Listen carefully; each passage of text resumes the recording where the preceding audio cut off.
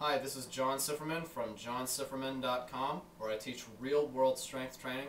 And this is a video tutorial on some beginner level core strengthening exercises. And when I talk about core strength I'm not just talking about the abs and the obliques. The body is more like one muscle than a bunch of individual muscle groups so we're going to train it that way. This is a video for those who might have trouble doing a full elbow front plank where your feet or the balls of your feet are on the ground.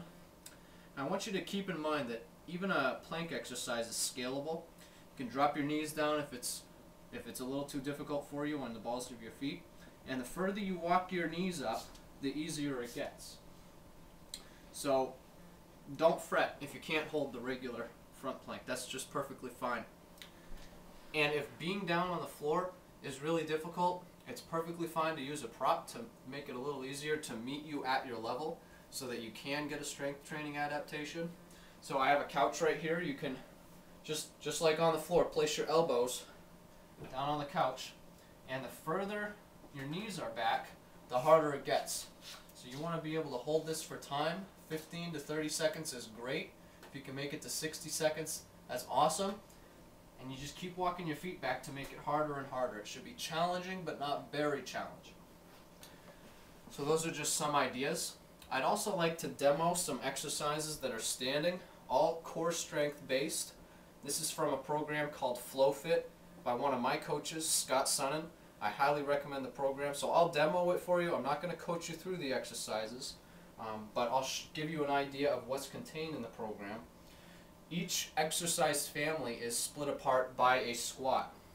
And you just go down as far as you can using this prop. I have a stool here as assistance. And this can be a, a sturdy chair, a counter, anything.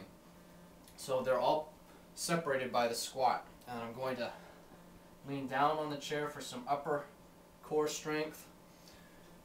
Another squat. I'm going to leg thread through and same thing on the other side. Using this prop as much as I have to.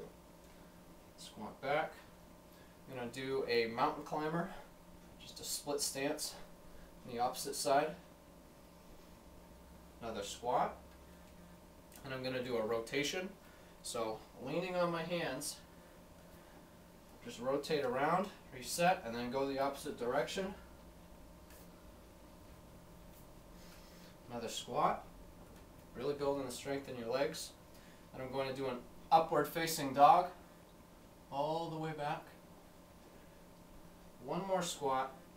And then I'm going to tuck one knee into my stomach as high as I can and lean forward onto my prop. And do the same on the other side. Exhaling when your lungs compress. And then you can restart that circuit and do it as many times as you'd like. So I highly recommend this program, FlowFit by Scott Sonnon. There's four levels. Um, this is level one, and if you go through all four levels, I guarantee you will see some phenomenal increases in your core strength. But you don't have to use this program at all. I mean, use what you have available. If you want to just do stick with planks, that trains strength. So this is John Sifferman from johnsifferman.com. Be strong and be well.